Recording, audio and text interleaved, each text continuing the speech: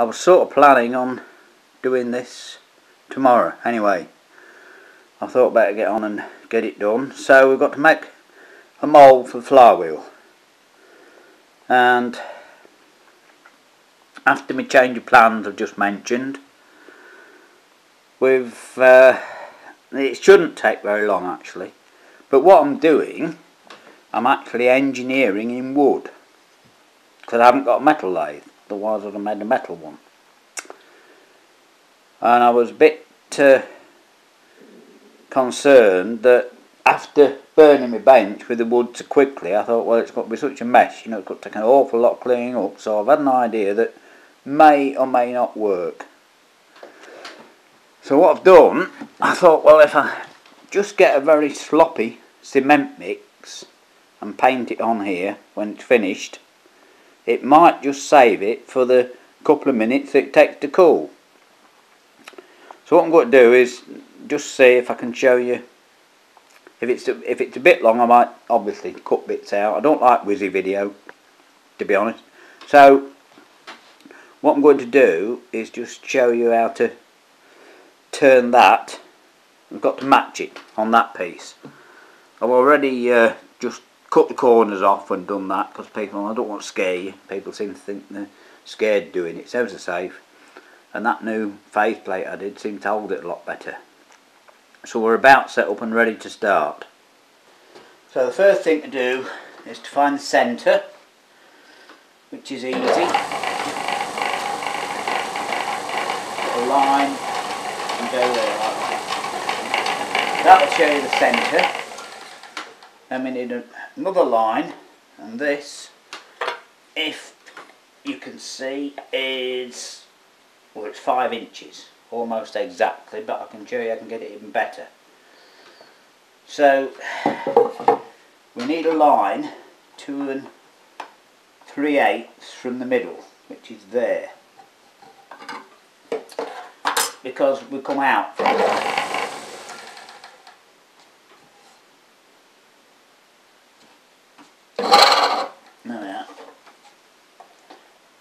measure that and it's just less than 5 which is fine. Then we need another line and that is just less than 4 so it wants to be three and a half.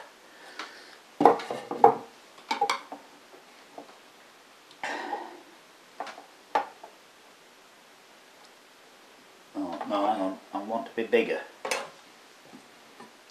nearly made a mistake there 4 inches right so it wants to be two inches from the centre.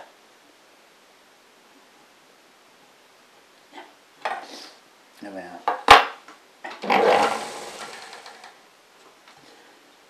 there. That's it. So now we've got the line and where to start. And I'm going to double check it. Got to, if you can see that, one of these digital readout. That was good stuff. I must say, battery was flat. Luckily I've got some in stock.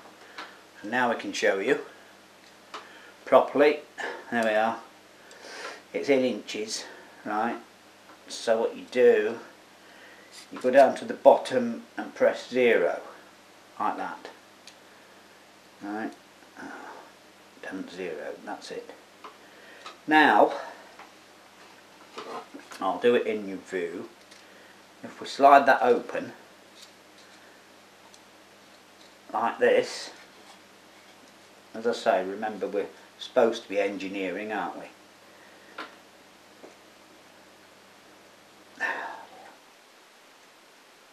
Change it to inches. You know, it doesn't have to be exact, but, you know, if we were on a lathe, it would be. So just to show you, you see, it's five inches and eight thou. That's not bad, is it, for a measurement with a ruler? So what I'm going to try and do is, uh, I've sharpened chisels up. Instead of tool, let's see. Yeah, it was ready.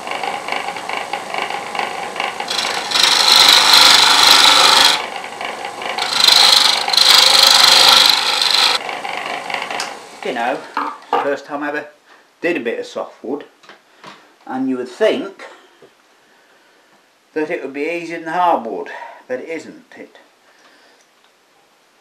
it doesn't go very well at all so we'll just see what that says Oops.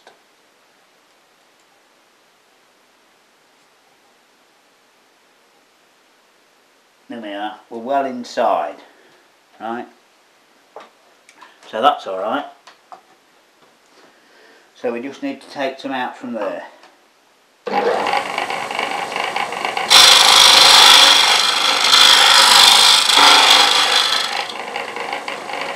I'll just measure that quickly and just see what we've got and what we're supposed to have.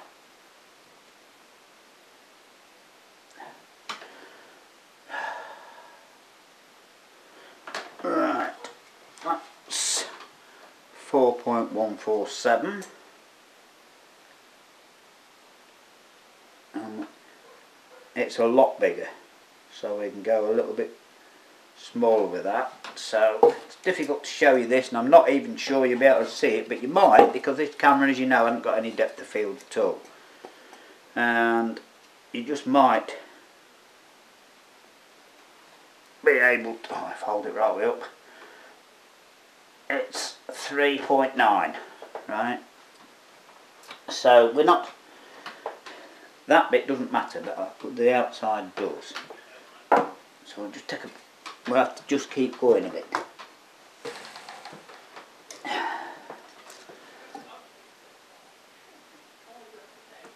That'll do lovely. Yeah that'll do lovely. That's about there so now I have to get the outside measurement a little bit closer to where we are which you do like that and there's a little bit to go. So I'm just going to take that out a bit and then I'm going to start going down on the depth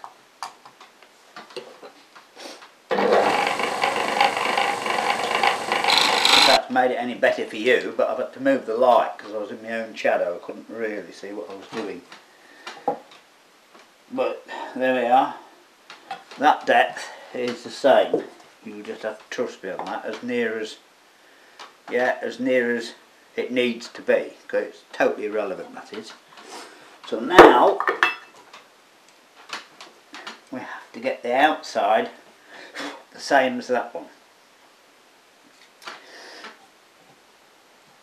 it doesn't have to be exactly the same but it would be handy if it was nearly the same.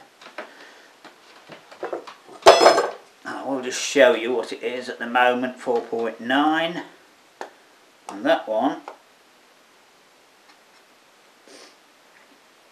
is 509 right? So it just needs a little bit out there with a lathe it's metal lathe it's a lot easier than doing it by hand on here it doesn't have to be exact as I say but it could be a bit nearer than that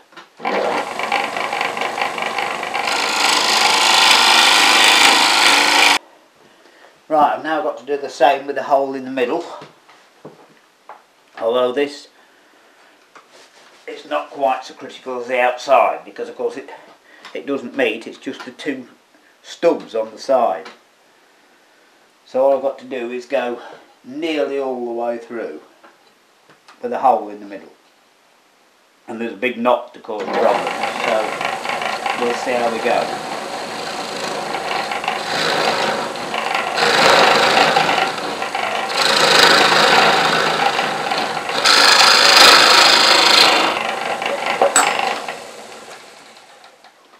And then I can find out the exact position we want to be. All that is. Funny enough, that's that's exactly right. That is on the outside. So all I've got to do now is square it up and go through.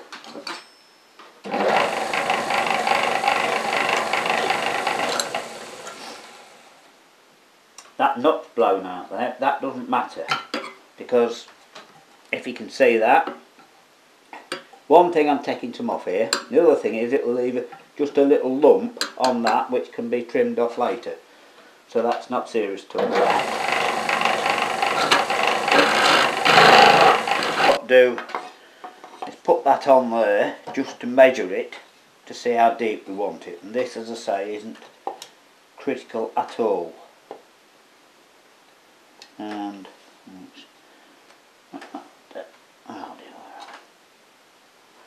difficult to see for me to see. I can't show you.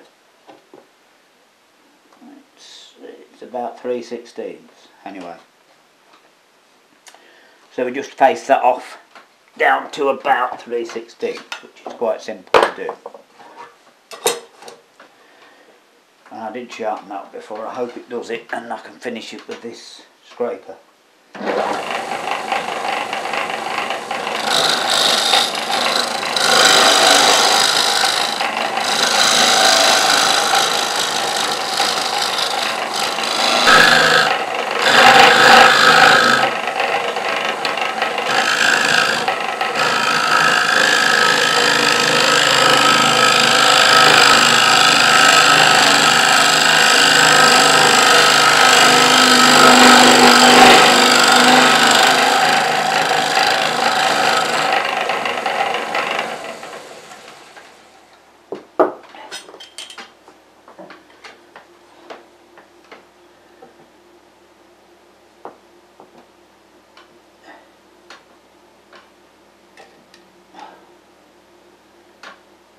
do know that's just about spot on. So that'll do for that. So there's the two halves of the mould. So they just go together like that obviously. I'll line them up as best I can. And all I've got to do is put, is it called the throat? I don't know, anyway it's a hole to let it in. And I do know it wants to be quite large. Right? About that. It wants to be oh nearly a quarter of it I think not a third, but yeah, nearly nearly a quarter. And the reason for that is when it uh, cools, it contracts. Now, uh, because of no size, that's not a not an issue. When you make a pattern, you actually, which you put in sand, cast in sand, you actually have to make it larger to account for shrinkage.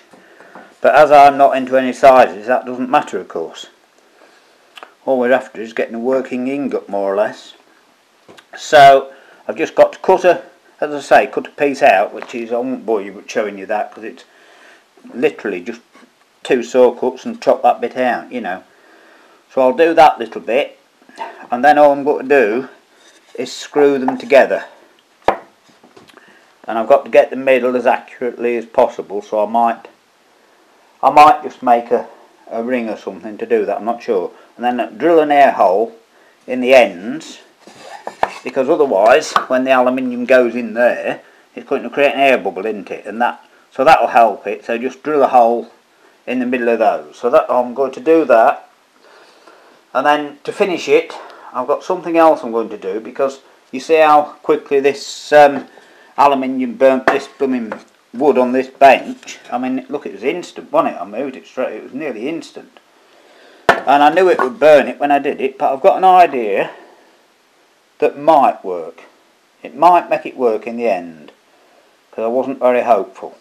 I, I, was thinking it was going to be such a mess it was hardly worth bothering with, but because I said I'd do it, I would. Anyway, this might and might not work. So I'll show you that bit when I get the rest of it done. Well, I've got that done, look. One bit broke out, but that doesn't matter as I say. This is just a hole that you pour it in and hopefully it's big enough where the shrinkage takes place at the top. You know, we'll have to see. And you can't really see inside, but it gives you the general idea of what it'll look like, doesn't it? If you can just see down there. Anyway, I've just screwed it, these two together so you can take it apart. Now, as you know, as I've been saying, if I pour hot aluminium on that wood, it's going to burn it straight away. And it's got to last for about a minute, so it's going to be pretty rough anyway. I'm just going to try something, which may or may not work. And that is some of that cement that I line the furnace with, well if I mix a very runny cement mix, like thick water, but not very thick, and give that a coat on there, obviously they come apart, uh, these screws I've got to get some, I'll have to put some uh, washers or some nuts on as washers just to nip it because I didn't have any a little bit shorter. Well I didn't find any a little bit shorter I should say, I've got some but I should have, I thought that would be alright. Anyway, we'll see how it goes. So that's it made. And what do you think of my idea then of lining it with a bit of cement? Will it protect it for the couple of minutes it needs um, for the alley to cool down? We can only wait and see, can't we? Anyway, that's it done. So I don't think it's too bad actually if you if you can just oh I can't get close can I if you can just see in there those they do match you know it's it's not going to be too bad well I did this last night. And it does stand a chance of working. It's now dried. So we will see what happens. But uh, yeah it's um, I think we now stand a slight chance of it working. Uh, but it's still a slight chance. Anyway as I say time will tell